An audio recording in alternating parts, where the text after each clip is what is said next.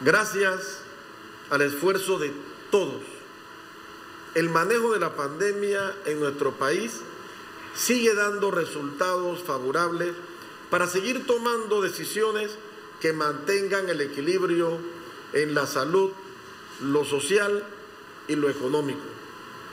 Esta semana, luego de analizar los datos que nos proporciona nuestro Departamento de Epidemiología, observamos cómo mantenemos un número sostenido de recuperados con respecto al número de positivos y también seguimos registrando una disminución de personas hospitalizadas y en unidad de cuidados intensivos.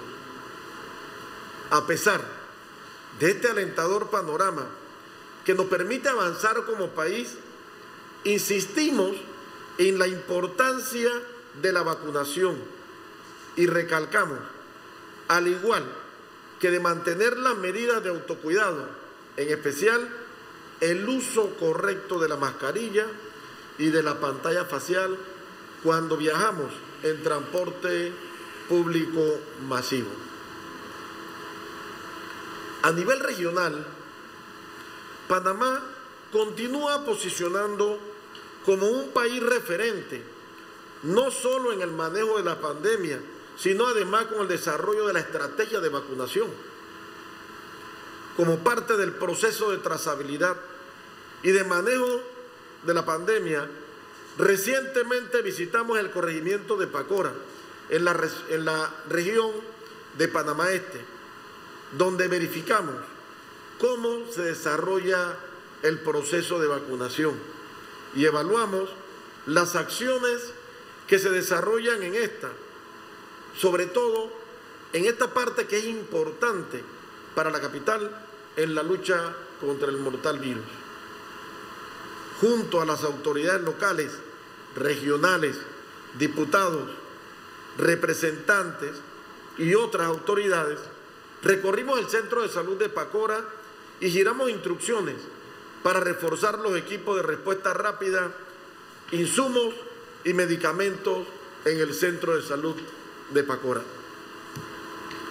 Un pilar fundamental para seguir avanzando en la gradualidad y asimetría de la apertura lo constituye el proceso de vacunación que desarrolla la operación Panavac 19 que lidera el presidente de la República, Laurentino Cortizo Cohen. Por ello, seguimos recibiendo más vacunas.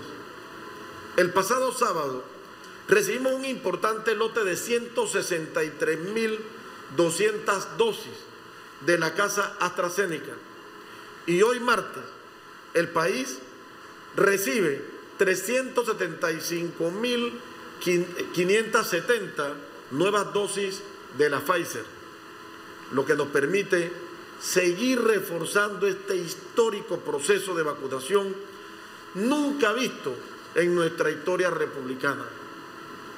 La estrategia de barrido ha permitido mejorar la cobertura de vacunados a nivel nacional.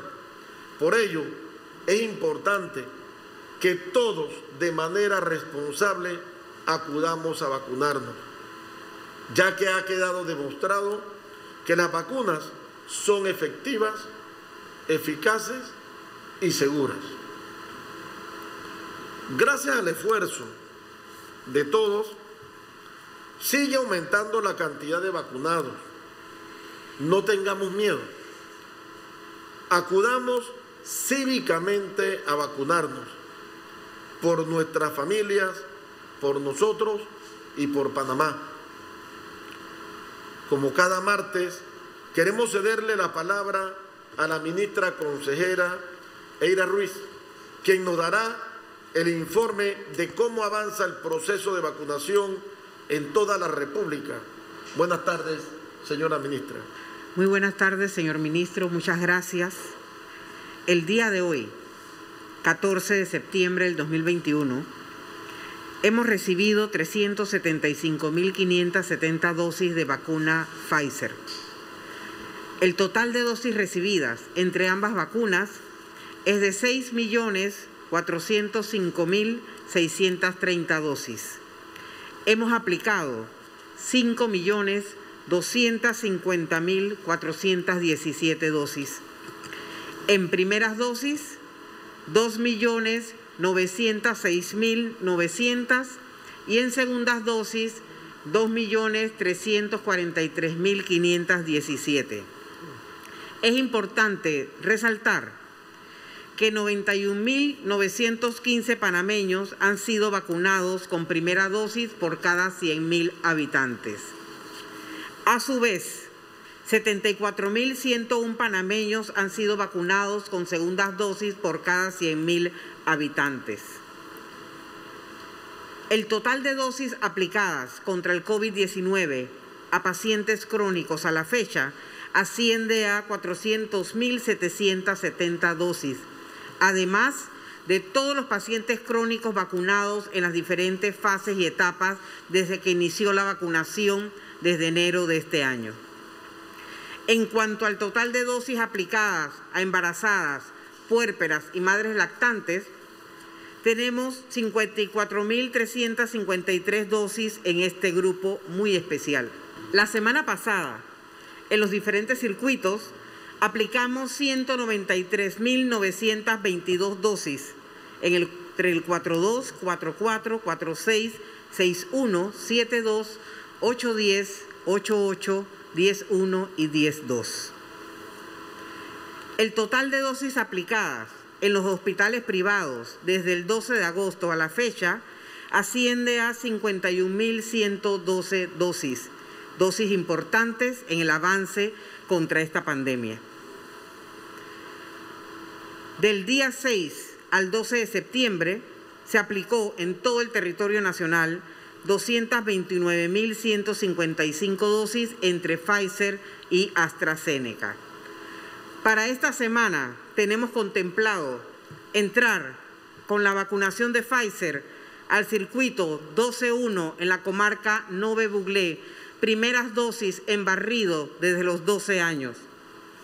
En la provincia de Coclé, en el circuito 2-1, en Chiriquí 4-1, Herrera 6-2-6-3, tenemos en Panamá Oeste 8283, en la provincia de Panamá circuitos 87, circuitos 88, circuito 89, en Veraguas el 92 y el 94, todos con barrido desde los 12 años. Tenemos un total de 400.734 dosis por aplicar en todos estos grupos. Es importante señalar que la vacunación abierta a población general ya la tenemos desde estas semanas, así que todo el mundo puede acercarse a cualquiera de los malls, al Rommel Fernández, al Vasco Núñez o a cualquier punto a nivel nacional donde tengamos vacunación, pueden llegar sin cita, también pueden hacer cita. Lo importante es que acudan a vacunarse y podamos nosotros detener el avance de esta pandemia y el avance sobre todo de esta cepa delta que está llegando a nuestro país. En el circuito 8-9 es importante resaltar que en el corregimiento de Caimitillo estaremos aplicando dosis en 15 comunidades del lago, así que toda la población del lago esté pendiente que desde el día miércoles estaremos nosotros entrando con la vacuna Pfizer a estas comunidades.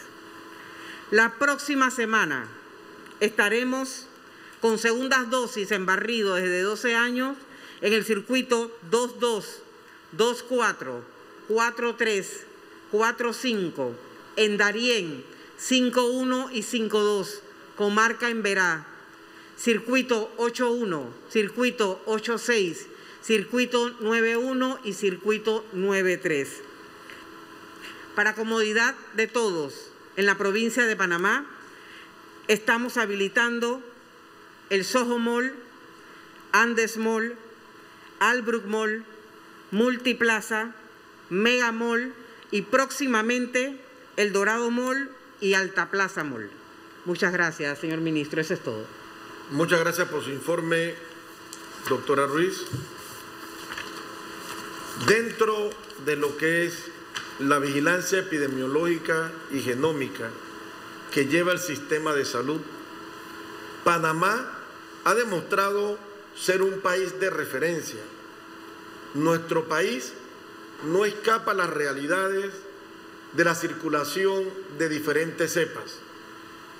Nuestro laboratorio de referencia, el Instituto Conmemorativo Gorgas, no solo como referencia para nosotros, sino también que se ha constituido en un laboratorio de referencia regional. Estos profesionales están en disposición de presentarnos con mucho orgullo la evolución cronológica de las variantes de SARS-CoV-2 que han circulado en nuestro país. Doctor Pascal, por favor, para que nos haga el resumen de la cronología de la aparición y convivencia con estas cepas. Muchas gracias, señor ministro, por permitirme compartir la información de la vigilancia genómica de SARS-CoV-2 para la nación. Hasta ahora llevamos 2.212 casos secuenciados de este virus. Hasta el mes de diciembre, la variante predominante era la variante panameña, la A2.5. A partir de enero, detectamos casos importados de la variante beta, que se detectó inicialmente en Sudáfrica. En marzo pudimos detectar las variantes gamma, alfa, lambda y mu. O sea, marzo ha sido el mes que más variantes hemos detectado y hubo diferentes introducciones. Para mayo detectamos delta. En junio, mu se convierte en la variante predominante en el país y las demás variantes están aumentando. Para agosto, que es el mes pasado, Mu sigue siendo predominante, pero Delta ya, ya la tenemos en el 20% de todas las secuencias que tenemos del virus. O sea, Delta está aumentando paulatinamente.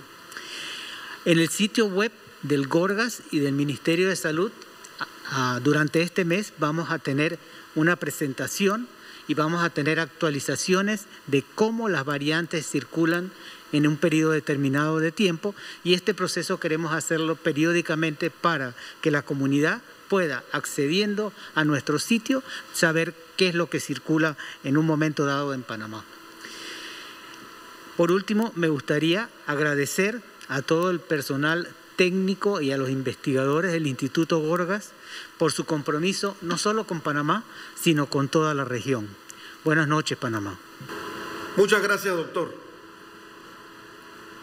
con base a la filosofía del gobierno nacional de mantener una consulta permanente con todos los grupos de interés y actores representativos de los sectores de la vida nacional, junto con el viceministro de Comercio e Industria Interior, Omar Montilla, y nuestro equipo técnico, nos reunimos con el presidente de la Cámara de Comercio, Industria y Agricultura, además de, los representantes de la Asociación de Bares, Restaurantes y Discotecas, ARBIT, con quienes mantenemos un proceso constante de consulta y coordinación permanente para evaluar las acciones a implementar y mantener el regreso progresivo a sus actividades económicas establecidas en el bloque 6. Durante el encuentro, le presentamos a estos empresarios los logros en materia de salud pública que hemos alcanzado en Panamá, lo que nos permite flexibilizar más las medidas, tales como el levantamiento de toques que quedan en gran parte del país con el objetivo de acelerar la reactivación económica. De igual manera, le recalcamos la importancia de mantener las medidas de bioseguridad en cada uno de sus negocios. Luego de conocer el perfil epidemiológico del país, comunicamos que a partir del próximo lunes 20 de septiembre, los distritos de Boquerón y Hualaca, en la provincia de Chiriquí, quedarán libres de toda medida mientras que los demás distritos mantendrán las medidas vigentes. Igualmente, a los distritos de Atalaya, Calobre, Cañazas, La Mesa, San Francisco, en Veraguas, se les levanta totalmente la medida de toque de queda. Ello gracias a los buenos indicadores epidemiológicos que se han venido presentando en las últimas semanas. Otro distrito que quedará libre de toda medida a partir del día lunes es el distrito de Olá, en la provincia de Coclé, al igual que el distrito de Pinogana en Darién. Para la península de Azuero, informamos que a partir del 20 de septiembre quedan libres de toda medida los distritos de Parita, PC, Las Minas y Santa María, en la provincia de Herrera, al igual que los distritos de Pedací y de Tonosí en Los Santos. En la provincia de Bocas del Toro, los cuales sus indicadores epidemiológicos nos permiten eliminar el toque de queda al distrito de Changuinola y en la comarca de Gunayala, en los corregimientos de Aligandí, Armila y Narganá. Por lo tanto, las provincias de Darién, de Bocas del Toro, la comarca Nome Buglé y la comarca Gunayala, en estos momentos son las regiones donde el gobierno nacional ha levantado totalmente las medidas de restricción. Para Colón, Panamá Metro, San Miguelito, Panamá Oeste y Norte se mantienen las medidas actualmente vigentes, donde nos mantendremos evaluando el posible levantamiento más adelante y dependiendo también del comportamiento de la epidemia, si Dios nos lo permite, poder pensar y planificar el levantamiento también de sus medidas de manera total. Sin embargo, informamos que pese a los buenos números que presenta la ciudad capital, vamos a reformar, vamos a reforzar, perdón, la vigilancia y trazabilidad y operativos en el corregimiento de Don Bosco, Bellavista, San Francisco, Santa Ana y Juan Díaz, en donde sus casos han aumentado levemente. También a partir del 20 de septiembre, el aforo en las iglesias, templos y parroquias será del 50% para la población en general y el 80% para la población vacunada con esquema completo. Esto dependerá de las instalaciones y de la organización que lleve a cabo cada instalación.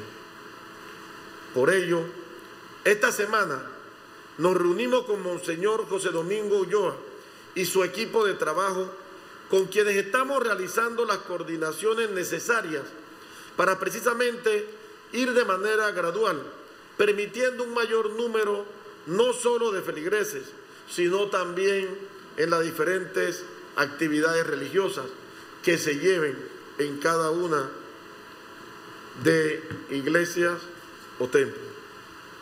Sin embargo, reiteramos que no están permitidas las actividades multitudinarias que conlleven aglomeraciones en sitios públicos de cualquier índole, ya sea comercial, social o religiosa.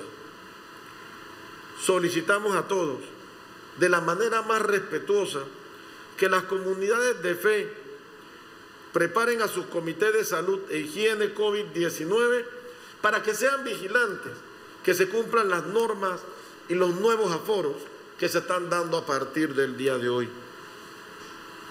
La flexibilización de las medidas que hoy anunciamos son el resultado de un plan estratégico consono a nuestra realidad y al trabajo de cada uno de ustedes, al gobierno nacional, a la empresa privada, a las comunidades de fe y a la población en general y otras organizaciones cívicas y sociales que han demostrado tener amor y cariño por su país. Como gobierno nacional hemos sido muy cautelosos. Ha permitido que Panamá marque una pauta regional en el manejo de la pandemia. Por ello, pedimos que a pesar de que los números son alentadores y óptimos, debemos de mantener un equilibrio entre lo social, lo económico y la salud. Amigos y amigas, no bajemos la guardia. Juntos como equipo alcanzaremos la victoria. Recuerden que hombro a hombro protegemos Panamá. Que Dios me los bendiga.